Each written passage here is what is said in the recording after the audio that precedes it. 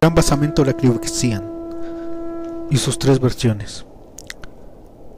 Hay tres versiones de cómo pudo ser este gran 5 metros de ancho. La primera del este, su lado izquierdo, hacia el oeste, su lado derecho.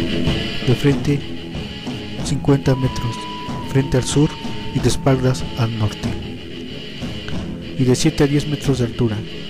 En total, una superficie de 1250 metros cuadrados edificados.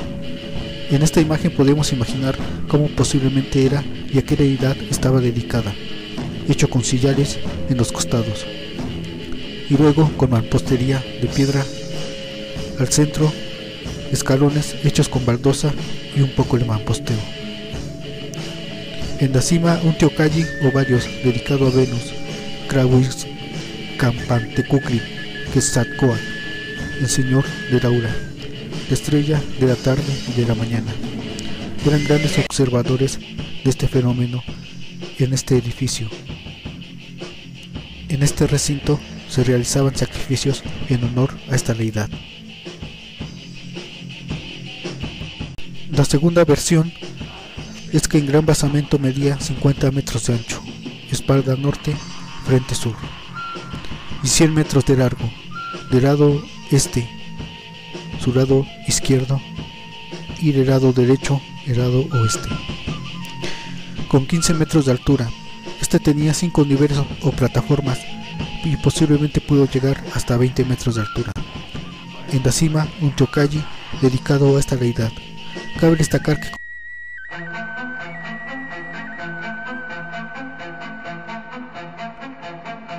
como dijimos anteriormente, este se edificó sobre los, antiguos templos otomís, chicalancos. Las últimas construcciones fueron de los chichimecas toltecas a partir del año 850 a 950 después de Cristo. La tercera versión de este gran basamento es que fue una plataforma base. Actualmente se puede apreciar restos de esta, pues sostiene actualmente el convento o santuario de los niños mártires. Junto a su atrio o campo deportivo y unas áreas de cultivo que actualmente son utilizadas para este fin. Esta plataforma base midió de norte a sur, dando la espalda hacia el norte 100 metros al sur. Este era su frente y su ancho, y en largo fue desde el este hacia el oeste 200 metros de largo, con 15 metros de alto tuvo 20.000 metros cuadrados edificados.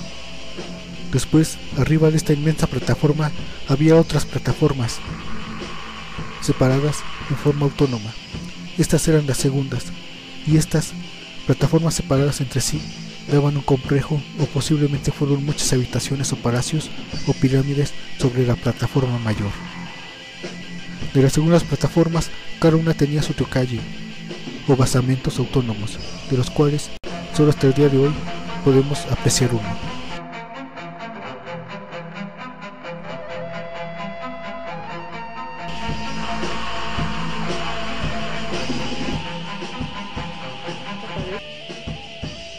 parte de un basamento o de varios basamentos como les digo en toda esta zona donde se edificó el convento de Acriuxia de orden franciscana modificaron sobre basamentos de la cultura otomí o meca chiranca, mezclada obviamente con la última cultura chichimeca, llamada Tolteca Chichimeca, con Tizacrán, Kiahuiscrán, Ocoterulco y Tepectima. Esta, esta pared, como les digo, parte de este, de este gran basamento de muchos basamentos. Todo esto era un complejo de, de, pirámides. Obviamente después de la conquista 1524 a 1536, la orden franciscana y varias órdenes se dieron a la tarea de destruir todo vestigio nativo de estas grandes culturas. Aquí podemos ver también lo que son piedras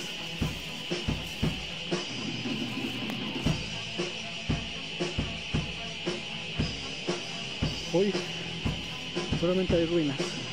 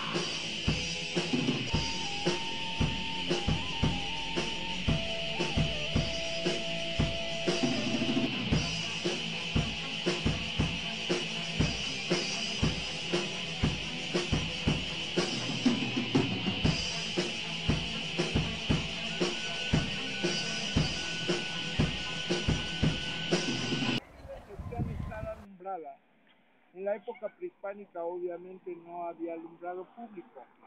¿Cómo los alumbraban? Con fogatas.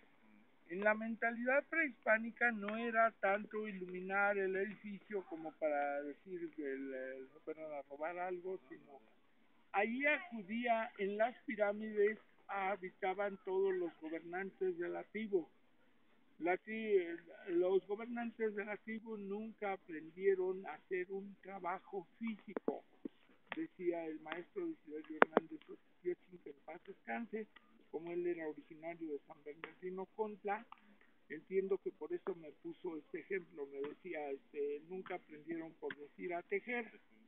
En una ocasión pasamos el maestro Desiderio Hernández y yo allá por el Palacio de Justicia en Tlaxcala, donde estaba una familia de tlaxcaltecas que tenían un problemón, un problema ya lo habían vuelto un problemón, porque ya se estaban agrediendo. Me decía el maestro, suponemos que así, o supongo que así pasaba en algunas ocasiones entre la tribu. Entonces, el mantener a la pirámide por la noche alumbrada era para liberarla de la mala vibra que podían y dejar la gente de la tribu impregnada con sus problemas.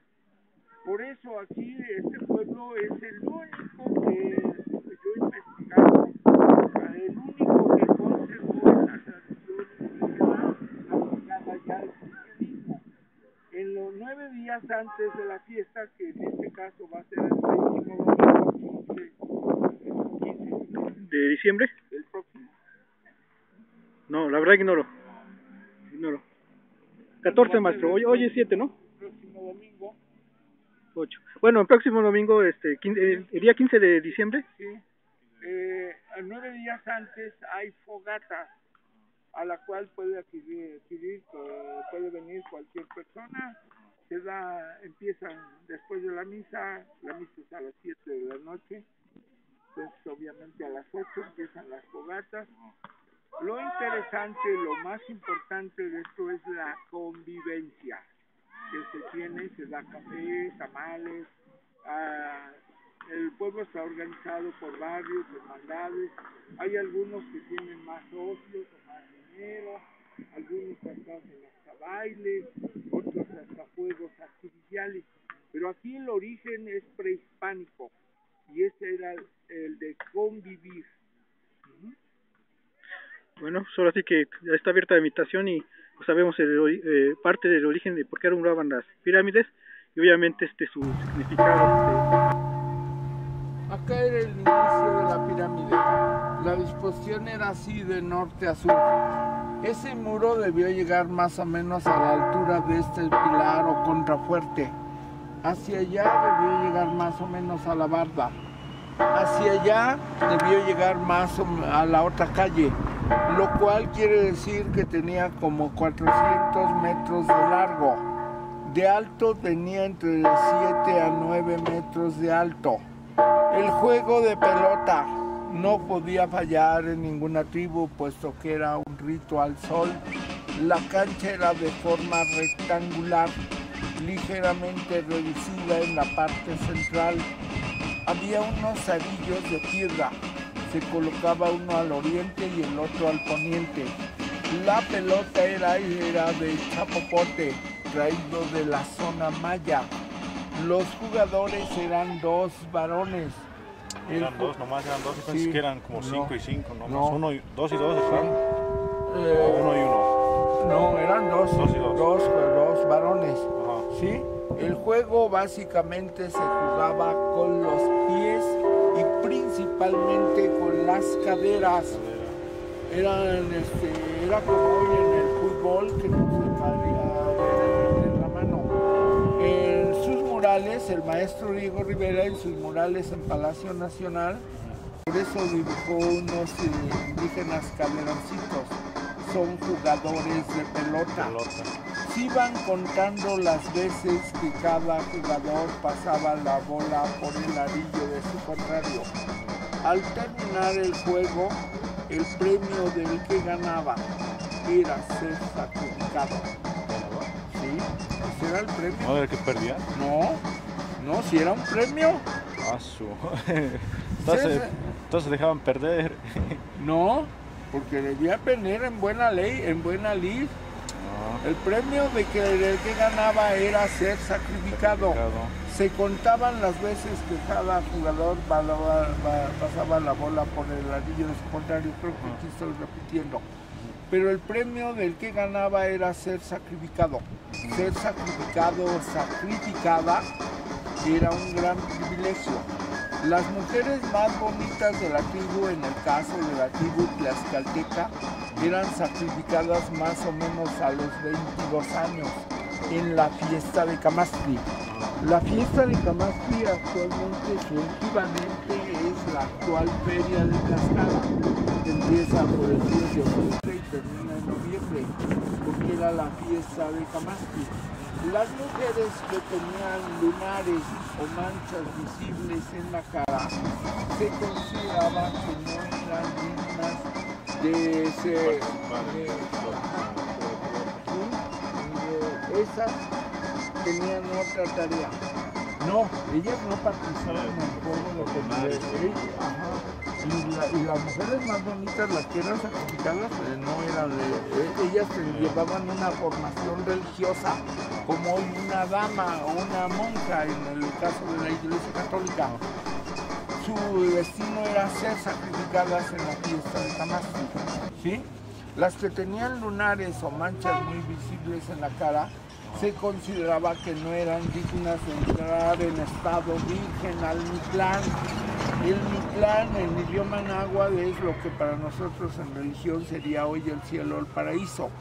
Ellas tenían otra tarea, se debían de casar más o menos a los 15 años, porque se les pedía que en su vida debían dar un promedio de más o menos 30 hijos a la tribu.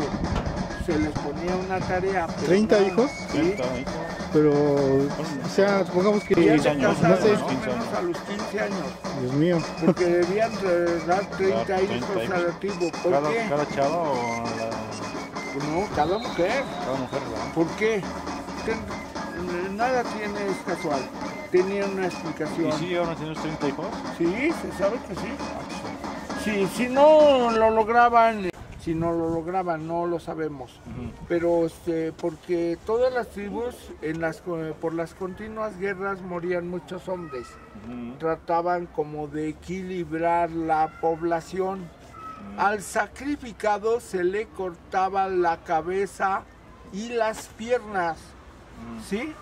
La, a la cabeza se le hacían unas perforaciones a la altura de la sien y había una construcción equivalente, parecida a, lo que hoy es una cancha de frontón. Se llamaba el Zompantli. El Zompantli debió estar más o menos aquí a la altura del paradero ese, ¿sí? Ahí se colocaba el cráneo del sacrificado. Se le ponía su nombre con jeroglíficos, obviamente, la- y la fecha del sacrificio. este, este, disculpe maestro, ent- entonces, ¿cuánto, cuánto medía la pirámide? De la ruina, bueno, lo que, De ¿De alto? mm, bueno, de- general, alto y de ancho. de alto, de ancho, De largo medía aproximadamente 400 metros de largo. De ancho, Lo que está acá, no más. de aquí desde el por- contrafuerte Este, hacia allá, hacia, hacia la barra, son, son como, ¿cuántos? Como, ¿cuán- ¿Cuántos metros te Unos, gustan? ¿Como unos- 50? como 50 metros. 50 metros. 50 metros. Ajá. Y de alto de- tenía entre de 7 a 9 metros de Ay, pues, alto. Y, y ya le, pues ya terminamos de hecho con lo que tengo. El Zompanti debió estar más o menos aquí a la altura de donde van estas personas. Por ahí se calcula. Debió haber otras construcciones, pero si hay cimientos más abajo, no lo sé.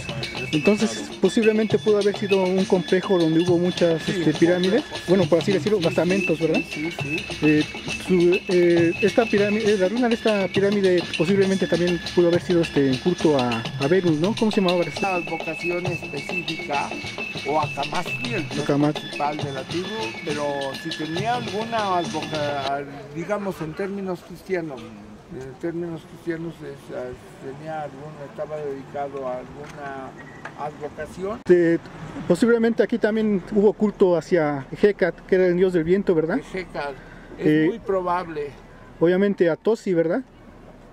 No tanto, no lo, bueno, yo mi opinión personal, porque Tosi era de los, eh, y con la bronca que traían terrible entre los tlaxcaltecas y los aztecas, no es muy posible.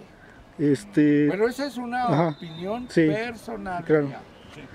este, también obviamente a Quetzalcóatl, ¿no? Eso era indudable. Sí, Obviamente este, a, a su hermano, el- ¿cómo se llama? El dios de la oscuridad, este, Tezcatlipoca, del espejo humeante. Sí, Realmente era amplia la variedad de, de dioses, de pirámides y, y dioses y cultos. de dioses y de diosas. Esta, esta pirámide tiene algo que ver precisamente con las imágenes, bueno, no con las imágenes, con las pinturas rupestres que hay, este, que hay en, en Acrihuexian.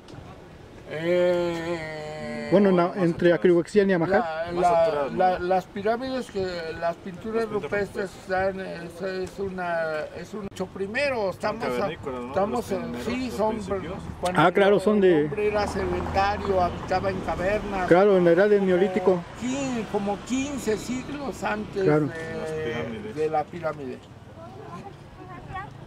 Guerrero sí lo correcto Exactamente, guerreros, no caballeros, porque aquí no. eh, no había Son caballos, guerreros, exactamente. son guerreros, Sí. guerreros águila, guerrero jaguar y guerrero, este, el más alto grado militar entre las tribus era Gran Tecutli, ¿Qué quiere decir? este, guerrero Tecutli, era el, eh, como decir, el, Como general. el- como ahorita el secretario de la Defensa Nacional, valga la Más, más comparación, el más alto rango, sí, más alto, ya decía el presidente. sí. Guerreros Águila, Guerreros Jaguar. Todos estos grupos de guerreros eran una clase especial en Mesoamérica y en la élite de su cultura y en la cultura tezcaya o tlaxcalteca, incluso en toda Mesoamérica. Estos grupos de élite podrían ingresar los Macehuantin o Macehuales y así, poco a poco, con el paso del tiempo y con mucho esfuerzo, lograban convertirse en guerreros de estos grupos especiales y con privilegios. Objetivo es capturar prisioneros de las tribus cercanas y lejanas para alimentar a sus dioses. Con la práctica del sacrificio humano, usaban muchas armas como la macahui o macana.